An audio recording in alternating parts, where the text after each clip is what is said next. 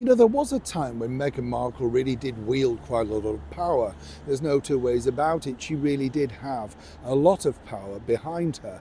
If you recall, she was able to get a breakfast TV show host bulleted, seemingly because he didn't believe her tissue of lies regarding, of course, the interview with Oprah Winfrey.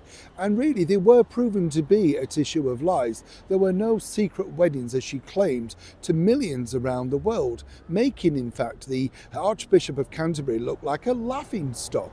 Justin Welby obviously came out and did all of that. But you know, you really have to say at what level do you want to drag people through uh, really bad disinformation? And that's the problem. Meghan seemingly doesn't seemingly care.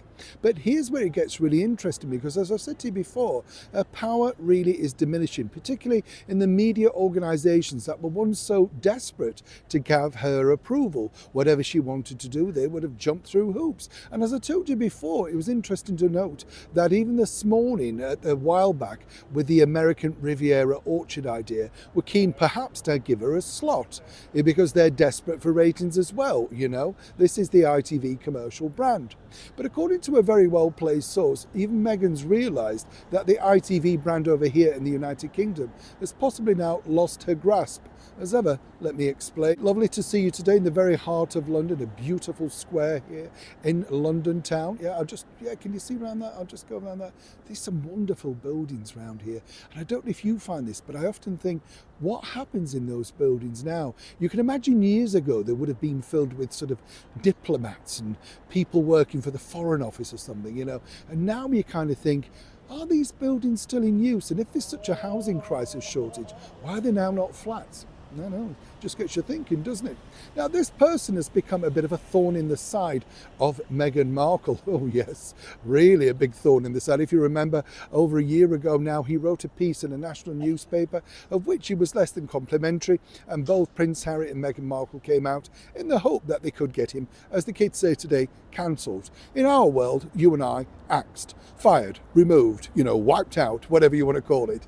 But sadly, you see, as I pointed out before, ratings are king. Money is king. And more importantly, in this very diminishing times for commercial channels, particularly television, if a person can bring in an audience and more importantly also bring in advertising, which means big bucks, you can virtually do anything.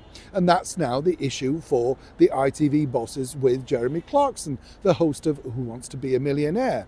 Now, things may go in Meghan's way in the future because it's yet to be decided exactly whether Mr. Clarkson will be offered a new extension. There's a brand new series coming out very shortly. But if he decides to decline that offer, and that could be a big pay rise or maybe not, depending on what ITV want to do, they're already casting around and perhaps they like the idea of the one-time CBS chat show host James uh, Corden to become the brand new host of Who Wants to Be a Millionaire. Apparently now he's going to be virtually based over here and doing certain things over, of course, in America from time to time. He left, of course, CBS because apparently he missed England and missed his family. Nothing to do, of course, with the show being very expensive and diminishing ratings. How dare you suggest that? Right, James?